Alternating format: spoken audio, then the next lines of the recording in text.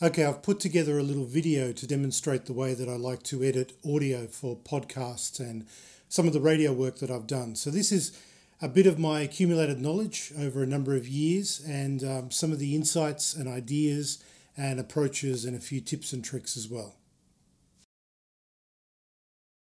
Okay, so our first stage is really setting ourselves up for recording. Uh, even before we can edit a podcast, we actually have to create some audio files. Now, all the podcasts that I've been involved with, almost all of them, um, either as a as a guest or a host or a co-host, have been remote recording situations. What I mean by that is that I'm here in my studio and the other person is somewhere else, and we're talking to each other via Skype. Now, that's quite cool. Skype's a wonderful tool, but the problem with that kind of approach is that you're going to end up, if you record just your side of the Skype recording, you're going to end up with one file that's your own file that sounds good through your microphone with a natural sound, and another side that's going to sound kind of terrible because it's been compressed. It's gone through the Skype tube that has channeled it through the interwebs, and it's come out the other side sounding kind of like some sort of telephonic garble, really. So the solution is to record on your side and also have the other person record on their side. And then you grab both files, you can share them using Dropbox or FTP, or depending on the size of your files, maybe with email, and then combine them in the way that we're going to look at later. And the tool that I like to use to do this is Audio Hijack Pro.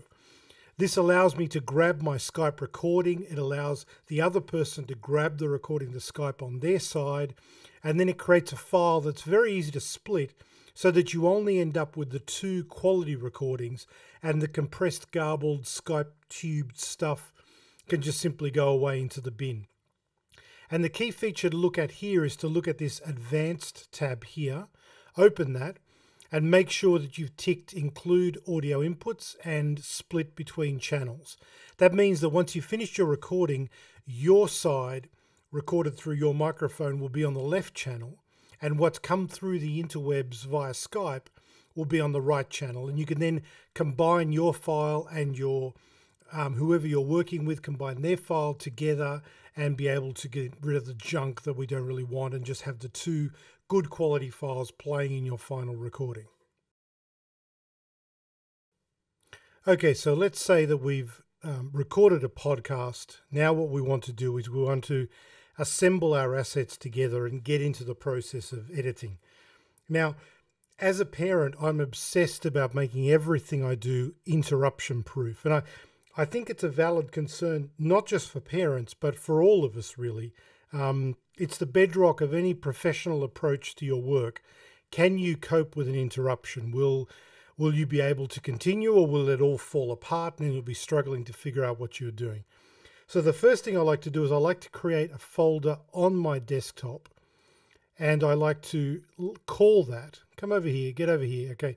I like to give this a name and uh, I normally call it whatever is the podcast that I'm working on. So for the process of this, we're going to call it, uh, we're going to wonder why I can't spell properly, and we're going to call it podcast demo.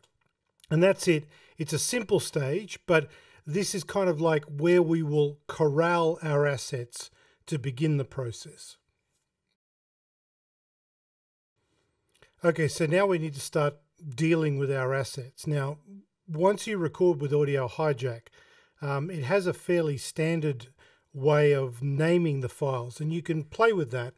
Um, I don't tend to. I tend to prefer to rename the files once I'm at the process of editing because I, I, know exactly from here where they're going to end up. Now, the, the standard structure spits the files out with a name like what you can see here Skype 2015 0603 and then an identifier number for the recording.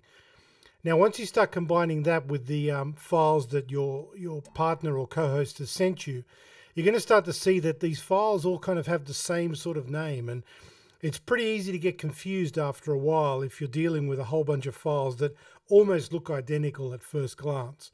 So what you want to do is come up with some kind of naming convention. Um, and you want to avoid doing something like calling them podcast one or podcast two, something that's quick like that. Because if you do it, then eventually you're going to end up with hard drive that have this exactly the same. So what I normally like to do is I normally like to use a convention like host podcast episode.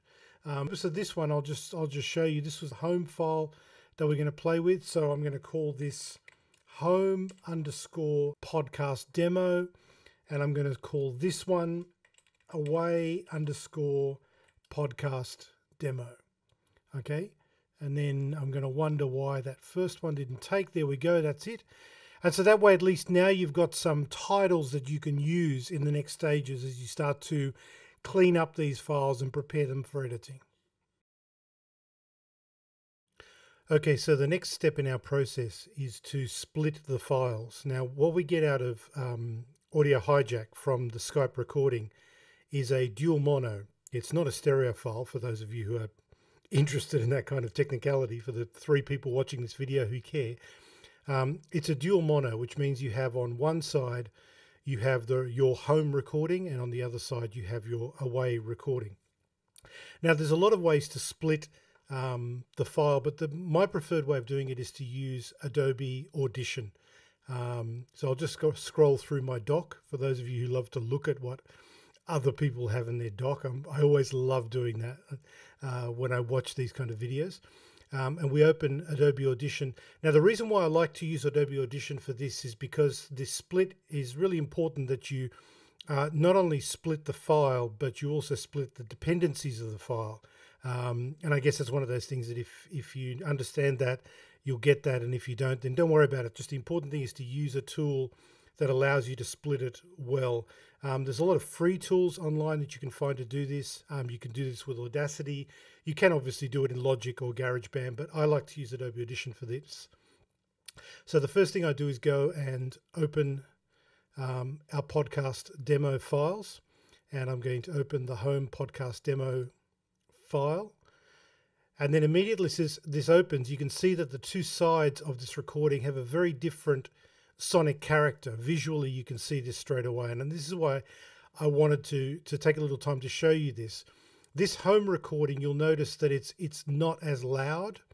Um, and it, it, it sort of has what, if you're used to using audio, looks like a more natural kind of um, dispersion of the sound. Whereas this one, which is the Skype recording of the person who's on the other side is really maxed out. It's, I mean, it's so loud that every single one of these points is a horrible distortion. Um, and there's not a lot of sonic contrast between the loudest and quietest bits. And if you try to edit this um, later on down the road, if you try to do anything to try and move you towards a nice radio sound, as it were, it's just going to be horrible. So that's why we like to get rid of that and just use this nice natural sounding home recording. Um, so then what we need to do is we need to export that. And this, this export window is really, really important. Um, the first thing I like to do is to change the file name. So at the moment it's Home Podcast Demo 01. Um, I'm going to change that to Home Podcast Demo Mono. Okay. Um, this is where you set the uh, where you're going to save this to. So we're going to save this to the podcast demo folder. Um, this is your format. Now this is really important here. Um, if you set your format, you need to set a couple of things here. The first is to set your channels to mono because all you want is one side of this, which is mono. You don't want stereo, and obviously you don't want to try and create some weird um, 5.1 surround sound file and this is where your mixing is. So the channel we want is the left channel. So we can slide this, we can get a we can get a mix of, you know, both sides, but you want nothing from the right. So this has to be set to zero and you want 100% of the left mix. Um, and then you can choose the format setting. I, by default, save everything into WAV because I tend to like to work in Wave in Logic Pro. Leave comments below if you think I'm an idiot for doing that or I should be using AIFF or some other format. But Wave is lossless. So we're trying to extract the best quality we can out of this MP3 and upsample it for those who are interested in uh, that sort of stuff. And you have an estimation of the file size here. This is tiny because we're only dealing with one minute of audio. Obviously, if you're dealing with a podcast that is long and goes for 15 minutes or half an hour, then your file size is going to get bigger. You hit OK, and then uh, it exports the file. Uh, very quick for a small file like this, and that's done. So we can go and close. I'm using the menus upstairs so you can see how I'm using the keystrokes. Then we want to open the, uh, basically do the same thing again. We import that. We can see here, obviously, this is a, a louder file, but um, this looks more natural. Whereas, as you saw before, um, the recording on my side had smaller peaks, and this has been uh, distorted to the max going through Skype's compression algorithms. So again, we want to uh, export that file. This is Away Podcast Demo 01, so we're going to rename that Away Podcast Demo Mono. Um, browse, uh, it's given me a session there. Um, so we're going to go back to this location, save, uh, check that our settings are okay, and um, hit exported two files ready for the next process. Okay, so the next step, and, and I think this is a pretty important step in making your podcast recordings sound good, is to apply a little bit of denoising and get rid of some of the background noise if you at all possibly can. Ideally, we'd all have a decent sounding room that we could record in um, that was free from from noise, whether it's you know uh, background noise, air conditioners, or refrigerators, or or outside noise like traffic but not everybody has that luxury. So let's assume for a moment that you're working with a file that has a little bit of background noise and uh, you want to clean it up. And, uh, and I guess we could probably do a whole other video at some point in the future about how to get a decent recording um, for your podcast files. But what I've done is I've clipped a little bit of the demo that we're using just so we can focus on a, a couple of issues in the background noise. And, and when I play this file, um, we'll we'll hear a couple of things that are going on. How are you doing? Good. It's a little bit noisy and windy where you are. Now, one of the first things that you'll notice is that you could actually hear my voice, even though this is meant to be the other side of the recording. Uh, that's because the person I'm working with hasn't plugged their headphones in. And it's really, really crucial that you have like a pre flight checklist of things that you do before a recording.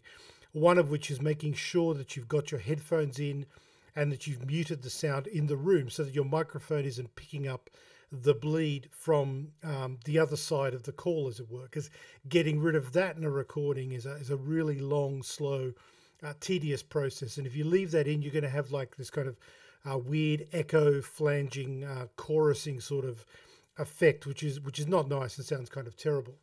Um, the other thing that you would have noticed is that there is an awful lot of background noise. That's kind of why I commented on it. So the tool I like to use is um, iZotope RX4 Advanced. Um, this is a fantastic specialist tool for audio post production. There are noise reduction algorithms and processes um, in other bits of software, but I find that this is the one that I like to use the most, um, and it gives me really great results. And part of the reason for that is this denoise module. Um, and this is a really spectacular piece of piece of uh, software that goes in, identifies the noise, and try and leaves the tries to leave the voice audio intact. Um, so what we do is we uh, we tell it to learn the piece that we've got. It quickly goes through, processes it, and then we can preview. How are you doing? Good. It's a little bit noisy and windy. Now, uh, what I'm going to do now is um, actually play that and click in and out of the bypass so you can hear the difference. How are you doing? Good. It's a little bit noisy and windy where you are. So you can immediately see that it's made a pretty dramatic reduction. Now you can play with the threshold and reduction amount um, to get even more reduction, but you've got to be a little bit careful because it does start to roll the high end off, which makes the voice a little bit muffled. Um, but you really have to push it hard to get into the weird robotic voices that that other noise reduction um, algorithms and pieces of software um, get you into. So I'll preview that and play with the threshold and reduction a little bit. How are you doing? Good. It's a little bit noisy and windy where you are. So you can see there's a pretty dramatic amount of reduction in the noise there by the end of that. How are you doing? Good. It's a little bit noisy and windy where you are. Now that's at the extreme levels, but obviously um, you can hear the difference that that's making, and that's already on a, on a recording that's that's not very good um, at all and and not isolated.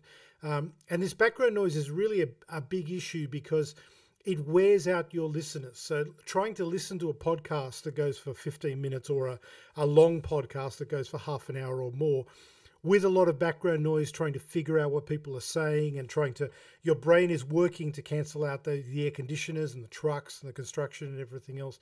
It's just really, really tiresome. So if you can find some kind of algorithm to help you do noise reduction, it will definitely improve the quality of your podcast recordings. Okay, so we've prepped our files, we've split our files, we've done some noise reduction on our files. Now we're finally ready to bring them into our um, audio editing software.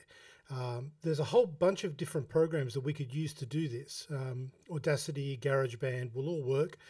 I prefer Logic Pro because it's the one that I'm used to. I work with this every day in my studio, um, and I'm really familiar with Logic Pro. Uh, but if I was starting out in podcast editing today, this, I would probably be taking a good look at Adobe Audition as well, um, because Adobe Audition really has some fantastic post production tools. But I like to use Logic Pro, and one of the things that I also have to say at this stage is that this is really where you want to start to think about creating templates for anything that you do repeatedly. Um, I have a podcast editing template that I I fine tune and I, I work on every probably about every six months or so based on what I'm learning. And having a template for a, any kind of work that you repeatedly do will save you a lot of time. I think having a template like this saves me really at least 15 minutes every single time I edit a podcast. And it also saves the mental strain of trying to remember and and work out what works for the files that you're working with. So once once you've got a process, then you can start to create something that is that is going to be effective for the um, work that you're doing. Now, um, once we're in Logic Pro, um, uh, what I like to do is I like to add the audio files, and I'm going to pick up here. Um, I'm going to pick up the uh, um, the away demo uh, mono, the home demo mono, um, and I'm also going to pick up the original um, podcast uh, file that came out of Skype.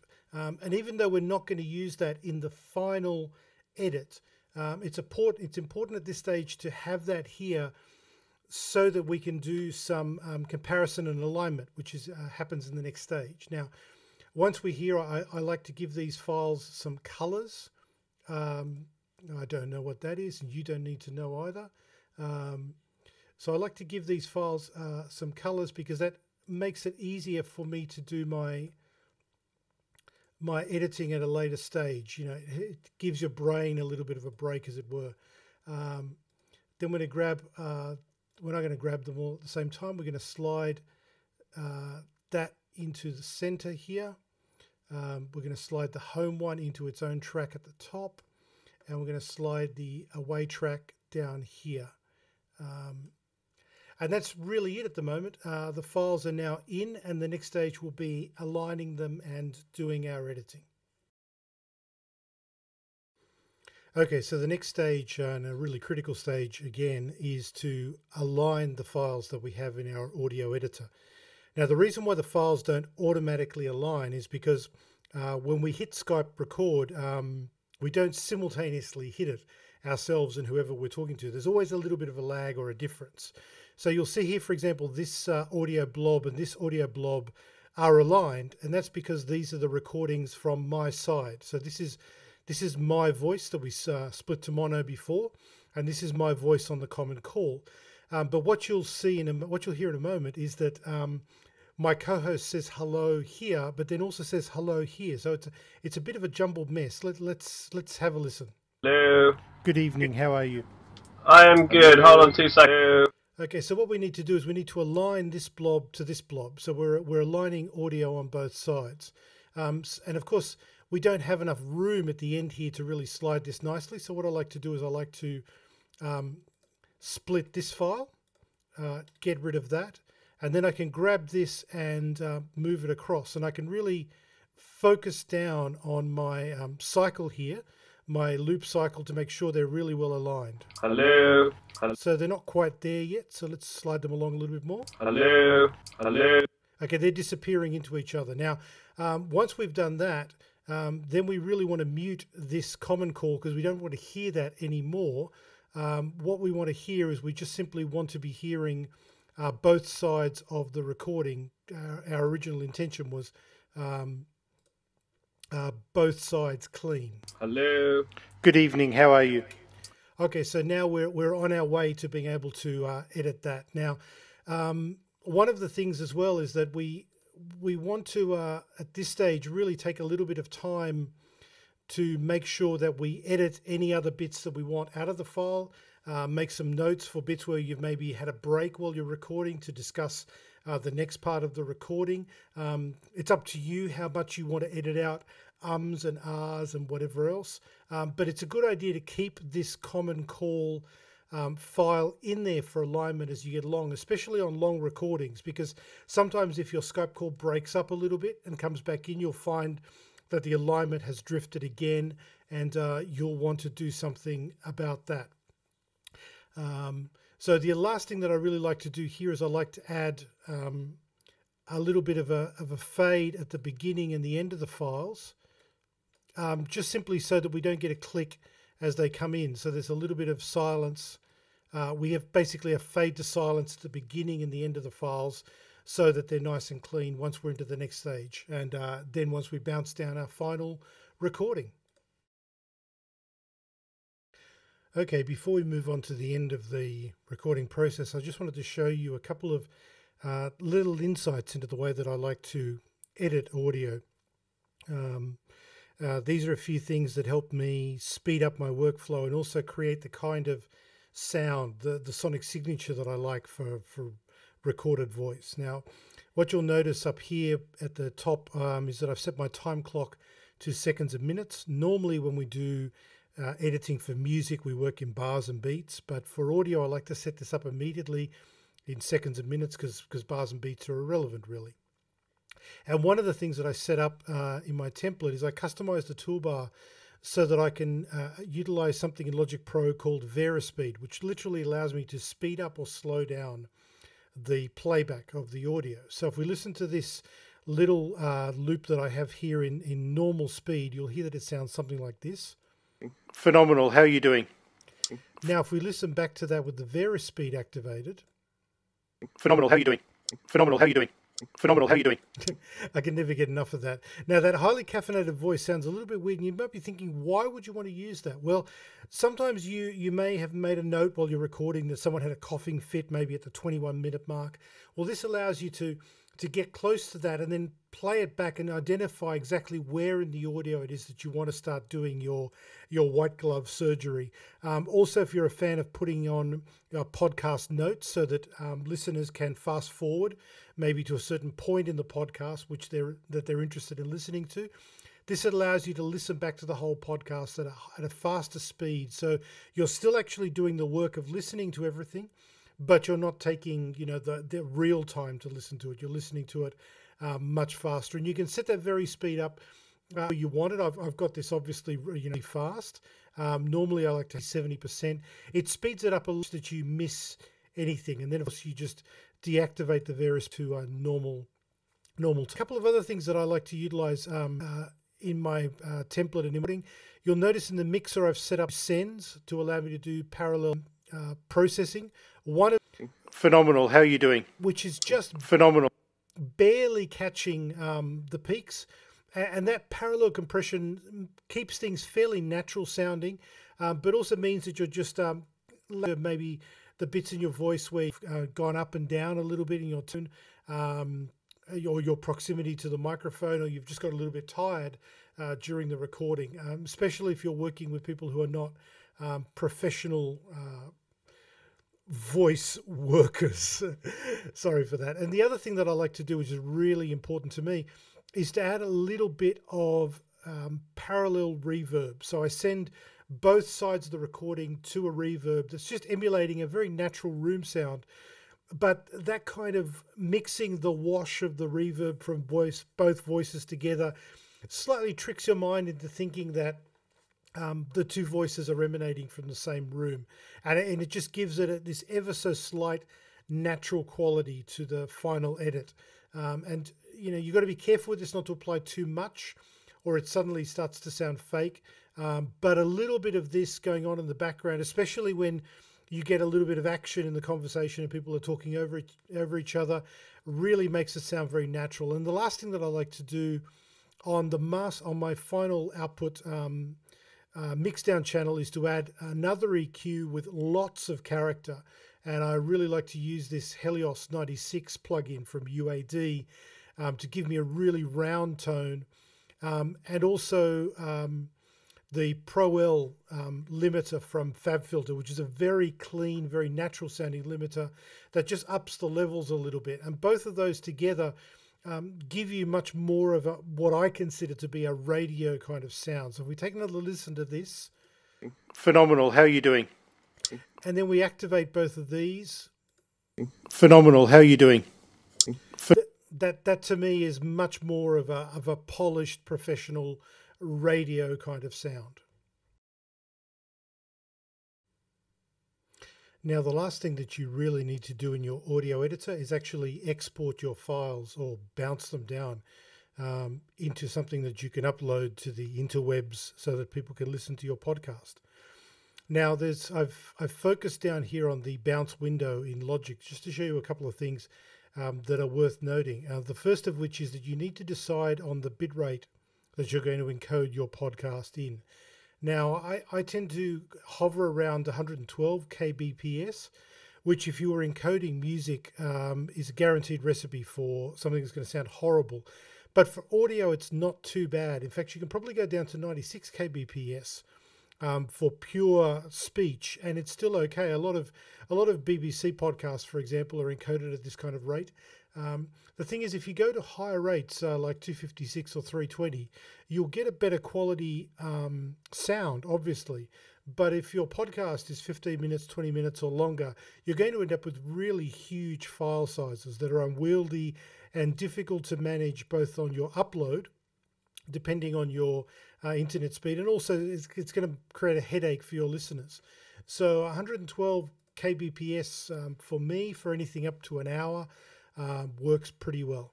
Uh, the next thing you're going to want to look at is this write ID3 tags and your ID3 settings. This is the metadata that is encoded into your um, podcast. So you can think of it this way: if you've ever imported a CD in, into your um, iTunes library or your music library and found that it just, uh, you know, it's all over the place and the genres don't match with other genres that you have, or the the track listings seem weird, or the um, the artist names um, on the tracks seem odd, then that's because of the way this metadata has been encoded. This ID3 uh, metadata that is um, that is supposed to be on all MP3 files. And this is really important if you're going to try and upload um, your podcast to an aggregator like iTunes or Stitcher. Um, that you have your podcast data, your show title, um, your artist title, your genre, um, copyright information if you're using that, and certainly your URL as well to identify your podcast. And you want to take the time to type all that stuff in, make sure that it's correct, make sure that there's no spelling errors, um, and that will that will help ensure that your podcast goes into the right buckets on the internet for people to listen to it.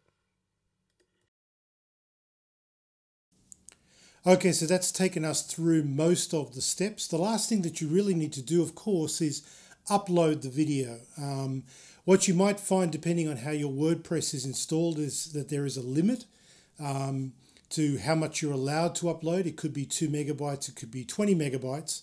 And you'll need to either um, modify some files in your WordPress settings or talk to your domain host if you want to get that extended if you need to upload a large um, podcast. And the final thing is to make sure that you back everything up have a backup strategy, and have an archiving strategy for storing your podcast files for future use if you want to re edit them or take some clips out for something else that you do. So I hope you found the video helpful and uh, let me know if you've got any questions. Thank you very much.